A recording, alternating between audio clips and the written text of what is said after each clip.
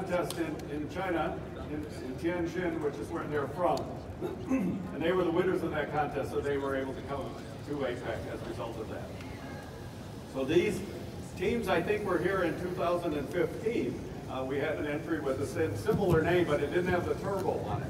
So the turbo is a fan. They've added a fan onto this entry that allows it, that pulls it down onto the ground. And so that increases the downforce. It's like a Formula One car at very high speed. All right, so 20 seconds on the search run. Very impressive. So typically the fan uses a lot of power, and so it's not typically run during this part of the contest. It's only used during the high-speed runs at the end.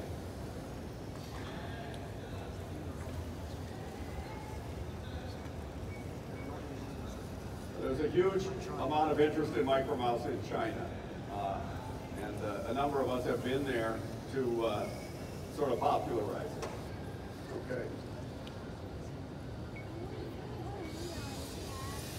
Hear the fan? You see the result?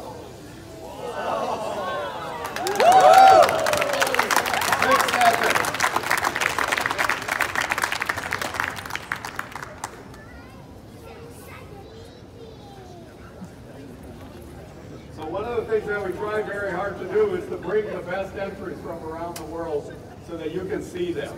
And so this is the result of that. So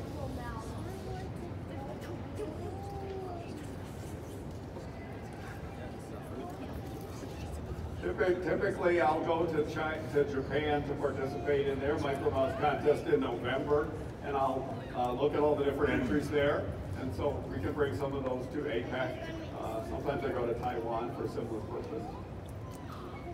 It's my hobby too, but I'm not participating. I've sort of become non-competitive.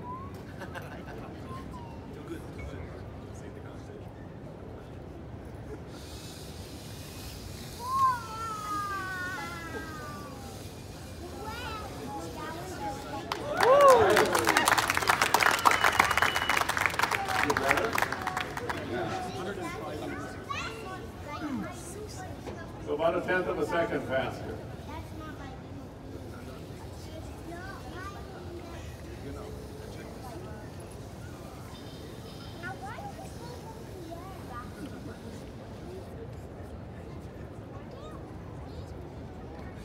Finished? Okay. Fantastic.